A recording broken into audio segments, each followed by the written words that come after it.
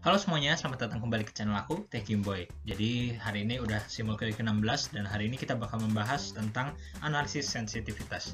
Jadi analisis sensitivitas ini adalah bisa dibilang sebuah analisis yang akan meneliti pengaruh dari sebuah variabel terhadap variabel yang lain. Jadi ada variabel bebas yang akan diubah-ubah dan kita akan melihat bagaimana pengaruhnya terhadap suatu atau lebih dari satu uh, variabel yang dependent seperti itu. Nah, mm, analisis sensitivitas ini gunanya banyak banget, terutama buat aku sendiri kalau misalkan aku lomba dan memakai simulasi proses di dalam lombanya selalu pasti salah satu analisis dasar yang pasti dilakukan adalah analisis sensitivitas. Jadi menurut aku ini penting banget, makanya aku pengen share ini ke teman-teman. Oke, jadi kita langsung baca aja case-nya. Jadi kita diminta untuk mengevaluasi suatu sistem pemrosesan metanol menjadi DME. Eh, reaksinya seperti ini. Dan uh, di sini kita pakai umpan metanol murni pada tekanan sekian, temperatur sekian. Nah, kita diminta ada dua hal yang dievaluasi, yaitu pengaruh temperatur dan tekanan operasi reaktor terhadap jumlah DME yang dihasilkan. Selanjutnya, pengaruh besar laju aliran umpan balik terhadap jumlah DME yang dihasilkan. Jadi kita bisa lihat di sini bahwa objective function atau hal yang pengen dijadikan dependent variable adalah jumlah DME yang dihasilkan. Dan yang diubah-ubah adalah pertama temperatur dan tekanan, lalu ada laju alir umpan balik. Oke, jadi segitu aja soalnya kita langsung cek ke simulasinya. Oke, jadi aku udah di layar Aspen HiSys. Untuk simulasi kali ini aku bakal pakai dua software, ada Aspen HiSys dan Aspen Plus. Dan karena ini tujuan videonya adalah mengajarkan tentang analisis sensitivitas, jadi aku nggak bakal uh, bikin simulasinya dari nol aku udah siapin sebelumnya uh, tapi bakal aku guide aku bakal kasih lihat apa yang aku udah lakuin pertama dari komponen list dan standar sesuai dengan soal terus uh, untuk fluid package aku di sini pakai PSRV uh, uh, kenapa pakai PSRV aku pakai method assistant. Jadi aku pakai uh, chemical. Nah, gini ya jadi tinggal diklik. Terus habis itu nanti ada muncul pilihan-pilihan. Nah, kita pilih specify component type, kita pilih chemical system, terus kita karena tekanannya lebih dari 10 bar ya, 25 hmm, bar. Nah, jadi kita ambil yes. Nah, jadi ini disarankan uh, seperti ini. Oke, okay? jadi gitu buat pemilihan fluid package dan reaction karena aku pengen yang simple aja, aku pakai equilibrium. Jadi cuma masukin ya reaksi-reaksi tanpa ada faktor dari kinetik dan sebagainya. Oke, okay? jadi selanjutnya ke bagian simulasi sini aku udah bikin uh, simulasinya. Nah, tapi aku bakal jelasin gimana aku pendekatannya buat ngedesain proses ini. Jadi pertama ini fit 100 Celcius eh, bar 25 bar terus komposisi metanol murni karena di sini nggak diketahui basisnya jadi di sini aku ambil basis 100 kg per hour. Nah uh, selanjutnya masuk ke pompa. Kenapa aku pilih pompa? Karena di Aspen Hysis ini temp, uh, pressure itu nggak bisa diregulasi ya. Jadi nggak ada pilihan buat ngatur pressure jadi dia ambil pressure uh, di sini langsung dari uh, aliran umpannya supaya aliran umpannya itu sesuai dengan operasi gitu ya. Nah, jadi aku pakai tekanan. Karena nanti bakal diubah-ubah kan terus uh, setelah pompa Nah, mas, uh, di sini ada mixer buat ngegabungin aliran umpan dengan aliran recycle. Nah, setelah itu masuk ke reaktor. Reaktor di sini uh, aku pakai energy stream karena temperaturnya bakal diubah-ubah juga. Di sini uh, kita bakal ngubah temperatur. Jadi uh, aku kasih di sini energy stream. Nah, terus di sini karena reaksinya fase warp berarti di sini nggak ada aliran, nol. Semuanya ada di fase uh, vapor gitu ya. Nah, terus selanjutnya uh, aku pengen flashing ya supaya kebentuk dua fase. Nah, di sini uh, uh, aku berhasil ngebuat uh, DME-nya 99%. Terus di bagian bawah di metal ethernya berhasil sampai 0,06. Artinya di sini udah pemisahannya udah bagus gitu ya. Nah, di sini produk yang akan nanti jadi dependent variable. Nah, di sini ada water dan etanol. Uh, metanol sorry ya, di sini harusnya metanol water plus MeO.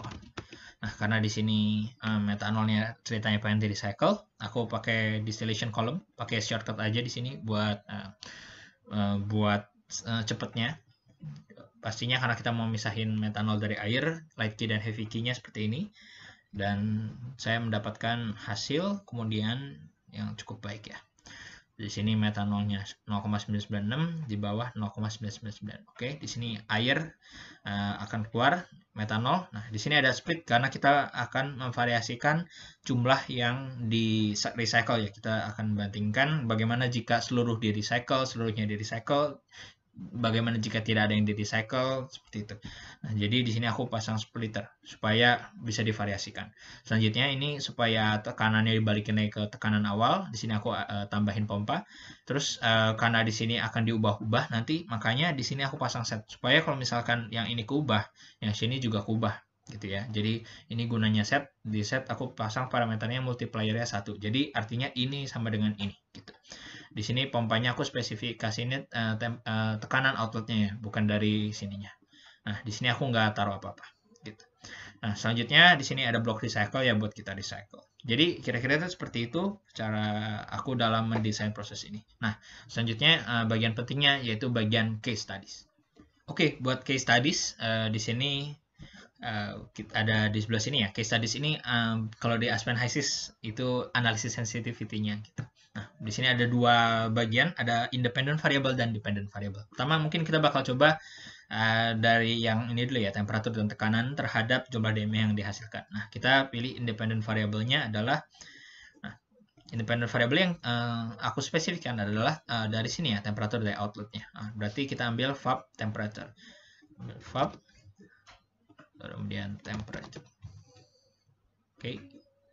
Terus juga dari ini di oke okay dulu dan nah berarti yang diubah-ubah lagi di sini nah ini ya kita bakal jadiin uh, dia sebagai variabel bebas. Berarti lupa namanya uh, pump pumpet oke okay, pumpet eh, sorry pumpet oke okay. sebagai pressure Salah satu hal yang perlu diperhatikan di sini juga, eh, hal yang menjadi variabel bebas itu harus uh, biru ya di sininya. Artinya harus user define. Jadi jangan kita uh, temperatur dari pump gitu, karena di sini dia clock gitu istilahnya. Jadi pastiin uh, warnanya biru. Nah, terus buat dependent variable kita uh, pengennya DME molar flow rate, molar flow. Sudah beres. Sekarang kita masuk ke case study setup. Eh, kita misalkan temperatur mau divariasikan dari 200 sampai 200 eh, sampai misal 300 step size-nya misalkan 10 biar cepet gitu ya. Nah, kalau misalkan terlalu kecil nanti lama banget nah, ngejalanin ya. Nah, uh, kalau misalkan tekanan misalkan mau dari 26 sampai 40 step size 2 nah, jadi Eh, seperti itu. Di sini bisa dilihat ada case study type. Nah, jadi ini ada beberapa tipe gitu ya case study. Ada sensitivity, nested, discrete, base, shift. Nah, kita bakal coba semuanya. Jadi mungkin kita copy-copy aja. Nah, misalkan di sini kita kasih nama nested. Nah, terus selanjutnya sensitivity. Terus habis itu ada pergeseran apa? Pergeseran itu uh, base and shift dan discrete. Hmm. Base and shift satu lagi discrete. Nah kita bakal lihat bareng-bareng apa sih beda dari keempat jenis ini. Pertama kita coba dari nested dulu. Oke kita run. Nah progresnya bisa kita lihat di bawah. Nah, ini running state. Masih jalan artinya. Nah sukses berarti artinya semuanya udah beres. Kita lihat result. Nah, kita bisa lihat bahwa kalau jenisnya nested, semua kemungkinan itu bakal diuji coba. Lihat di sini temperaturnya bakal jadi fix dulu, eh, tekanannya jalan, hasilnya seperti apa ada di sini.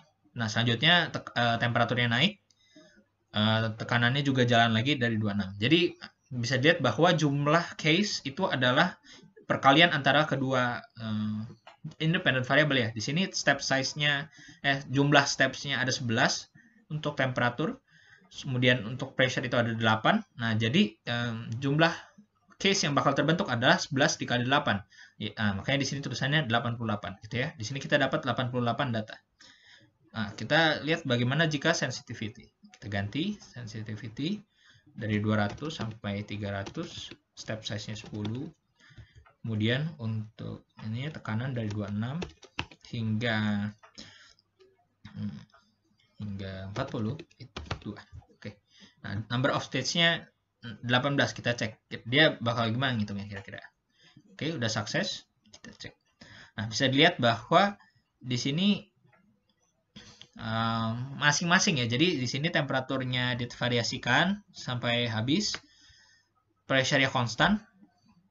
Kemudian uh, diganti temperaturnya yang konstan, uh, kemudian pressure-nya yang jalan. Jadi um, ini beda sama yang nested ya. Kalau nested dia semua kemungkinan bakal dicoba. Kalau misalkan uh, sensitivity itu enggak. Jadi satunya konstan, satunya gerak, terus satunya gerak, satunya konstan. Jadi uh, gimana cara nemuin number of states? Berarti kan uh, tinggal kita ada 11 ditambah 8 dikurang 1 yaitu uh, selisih atau um, yang sama dari kedua hal tersebut gitu ya. Jadi 11 tambah 8 dikurang 1. Kita coba misalkan ganti deh ini iseng nih, misalkan 24.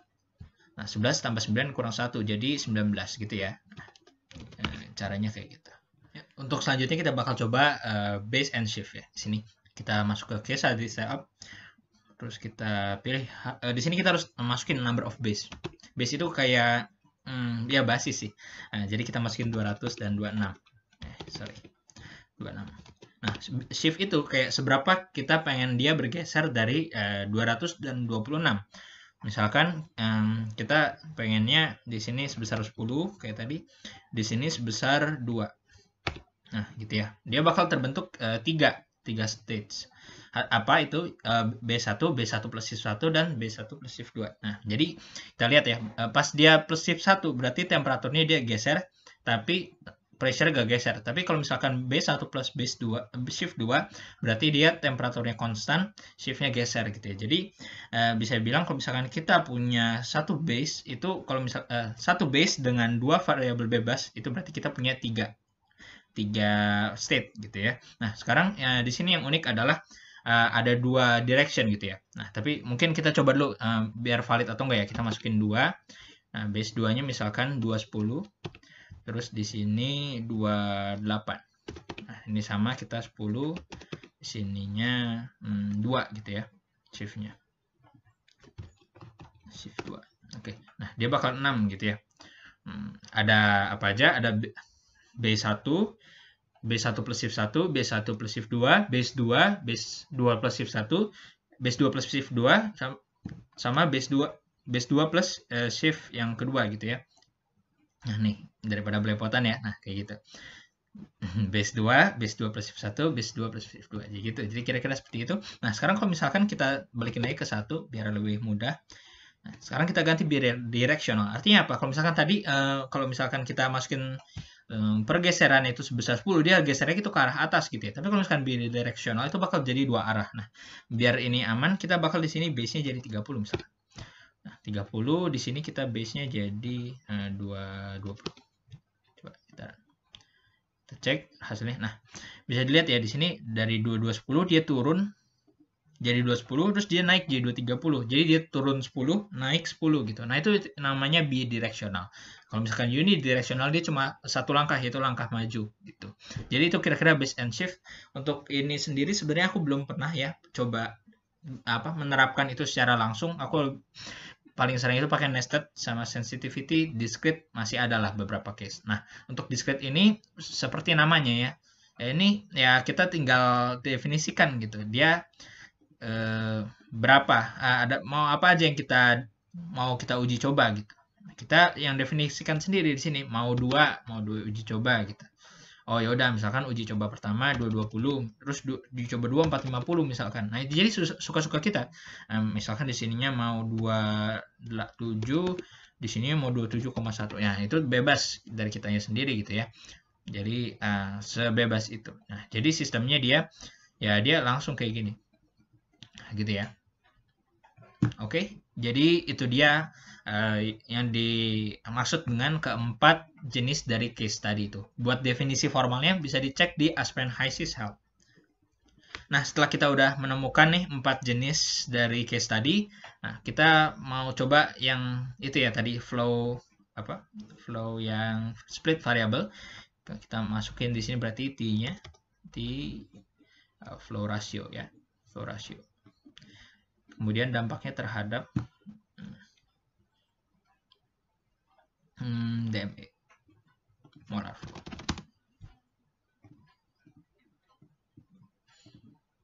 Oke. Bisa di setup, kita pakai yang nested aja. Lagi pula ini kan cuma ada satu independent variable ya. Misalkan kita cuma dari 0,1 sampai 0,4, step size-nya misalkan 0,05. 0,05 kekecilan ya? Enggak, 0,05. Nah, 7 step. Kita lihat resultnya. Nah, uh, udah dapat ya. Jadi bisa kita lihat dengan mudah. Kalau ini kan gampang ya divisualisasikan.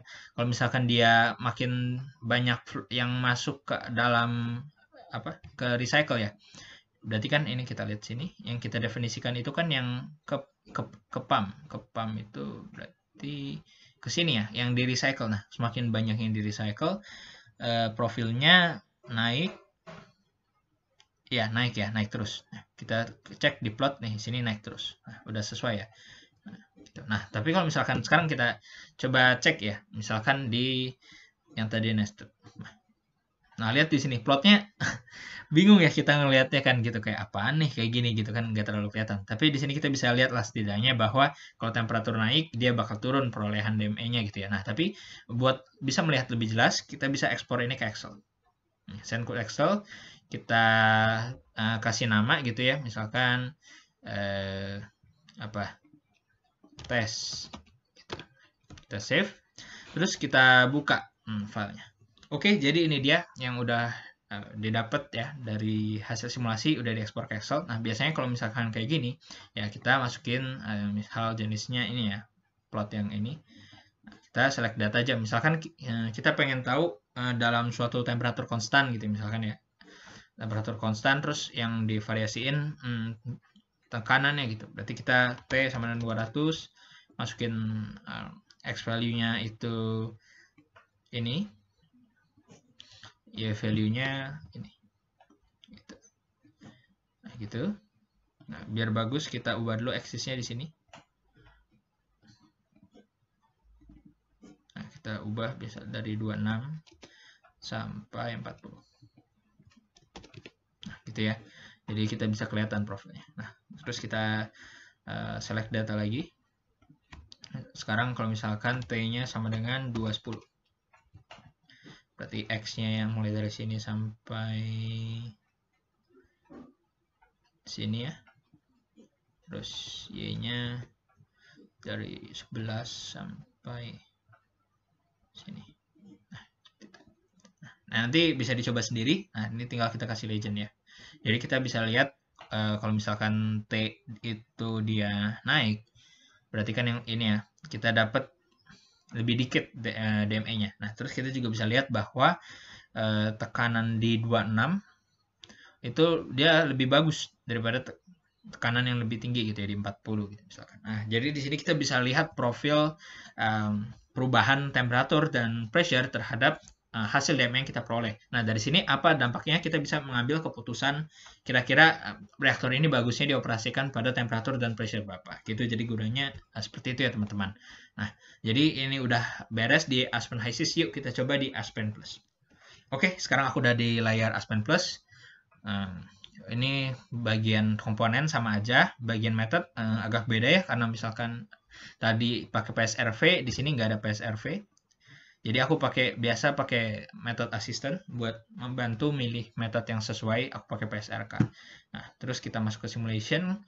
Kurang lebih sama ya. Bedanya di sini kenapa gak ada pump? Karena um, di Aspen ini bisa ngubah-ngubah pressure itu pakai uh, dari sininya gitu. Dari dari reaktornya gitu. Nah, terus selanjutnya tetap aku pakai uh, kayak set ya. Kalau di sini kan set itu kalkulator.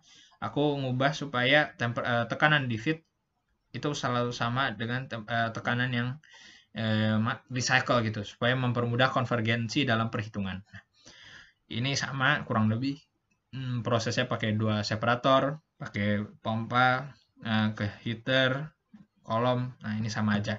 Nah, tapi bedanya di sini bagian eh, mode analisis tool ya ini ada sensitivity. Nah, di sini aku udah buat tapi kita delete dulu aja ya buat kita belajar. Kita delete dulu. Oke, kita masuk new. Kita misalkan tadi aku kasih nama PT uh, eh, terhadap uh, eh, DME gitu ya. Oke. Kita tunggu. Oke, nah sekarang kita ada uh, di vary. Vary itu kan berarti yang akan di diubah. Berarti ini adalah independent variabelnya. Nah, kita ada dua independent variable, kita new dua kali. Yang pertama, misalkan kita ambil pressure. Pressure dari mana nih? Hmm, dari reaktor. Press, press, press, press. Nah, ini. Oke, dari 26 sampai um, 40 tadi ya. Number of in incrementnya 2 bar. Oke, kita udah beres di variable 1, di, di variable 2 kita pakai block var juga, reaktor. Variabelnya adalah um, temperatur T tem oke dari 200 sampai 300 incrementnya 10 sama kayak tadi. Oke nah di sini kita bisa lihat bahwa di Aspen Plus dia lebih uh, terbatas ya uh, pilihannya dia cuma ada equidistant, logarithmic dan list of value. Jadi kalau equidistant dia distance-nya sama, kalau logarithmic dia hubungannya log. Kalau misalkan list of value dia kayak discrete di Aspen HYSYS seperti itu. Nah, sekarang kita define. Define ini adalah apa yang mau kita pantau. Yang kita mau pantau adalah DME-nya. Nah, kita pakai stream stream variable. Streamnya DME molar flow. Nah, seperti itu. Nah, di tabulate kita apa yang mau kita tampilkan di tabel yaitu DME. Nah, jadi di sini dituliskan sesuai sama variabel yang ditaruh di sini. Nah, kita tinggal run. Kita tunggu. Nah, result available. Kita bisa cek resultnya di sini. Seperti ini. Ini juga bisa diekspor kayak tadi. Tinggal kita seperti uh, select all, copy, paste gitu ya di sini. Nah, seperti itu. Nah, nanti sama kayak tadi kita bisa lakukan hal yang sama dengan plotting seperti itu. Nah, sekarang ini udah beres buat PTDME. Selanjutnya kita bakal coba dengan yang uh, split split DME. Enggak cukup, berarti kita SPDME. Ini dikasih nama biar tahu ya yang mana hmm, variabel-variabelnya. Nah, sekarang kita masukin di sini blok variabel juga, tapi kita pakai splitter di sini. Splitternya kita ubah flow frag dari uh, eh, MEOH production. Nah, kita cek di sini yang kita definisikan adalah MEOH recycle. Oke, berarti di sini kita ikutin. MEOH recycle. Nah, kita coba 0,1 sampai 0,4. Uh, incrementnya 0,05. Kayak tadi, uh, define. Hmm, kita mau tampilin sama kayak tadi DME, hmm, stream var, stream variable hmm, DMA molar flow molar flow tabulate DMA Sip. nah kita dapat hasil sama kayak tadi ya kalau kita naikin yang lebih banyak recycle itu lebih besar gitu nah, dia bakal dapetin hasil yang lebih banyak DMA nya Nah, um, tadi aku udah bilang ya bahwa kekurangan di Aspen Plus adalah dia kekurangannya di sini. Nah, manipulated variable-nya itu cuma ada tiga mode gitu ya. Dan yang paling sering dipakai ya dua aja paling, distance sama list of value. Nah, tapi keuntungannya Aspen Plus di mana? Nah, keuntungan Aspen Plus ini di tabulate gitu. Karena kita um, bisa banyak banget taruh sesuatu di sini. Bahkan kita juga punya fasilitas terhadap Fortran kalau misalkan kita pengen um, suatu yang misalkan konversi gitu ya. Misalkan kita uh, mau masukin konversi. Nah, kita define aja di sini uh, conv gitu ya. Nah, ini di sini berupa lokal parameter. Jadi artinya cuma ada di sini doang gitu. Nah, kita masukin di sini conv adalah gitu ya. conv sama dengan nah kita masukin rumus di sini terus kita masukin ke tabulate. Nah, gitu. conv gitu. Jadi ini fleksibel banget gitu ya. Mau kita masukin di tablet ini apa pun gitu. Gak cuma um, dependent variable gitu. Kita bisa masukin banyak hal seperti itu. Jadi dari segi fleksibilitas menurut aku lebih oke okay gitu di sini. Kali ini jadi menurut aku ini salah satu tools yang sangat penting dalam melakukan proses simulation ya. Bahkan juga di buku-buku cetak juga banyak banget case-case yang kita diminta untuk mengevaluasi pengaruh suatu variabel terhadap variabel yang lain. Dan uh, ini dapat menjadi salah satu ilmu yang bermanfaat untuk nanti teman-teman gunakan dalam mengikuti lomba yang membutuhkan proses simulation gitu ya. Nah, nanti misalkan di bab 4 kan ada analisis gitu ya, ada analisis apa? Biasa judul bab 4 tuh. Uh, result and analysis gitu ya. Uh, result or result in and discussion misalkan kayak gitu. Nah, ini bisa menjadi salah satu bahan yang menjadi uh, result and discussion itu gitu. Misalkan kita cek di sini. Oh, kita bisa lihat bahwa kalau misalkan uh, dia di diperbanyak uh, hasilnya lebih banyak gitu. Nah, kenapa gitu? Nah, itu kita bisa masukin ke dalam paper gitu. Jadi uh, ini menjadi salah satu bahan yang oke okay buat dimasukin ke results and discussion. Jadi uh, segitu aja teman-teman buat video hari ini. Kita udah ngelakuin uh, analisis sensitivitas ya di dua software sekaligus. Semoga bisa bermanfaat dan sampai jumpa di video selanjutnya. Dadah.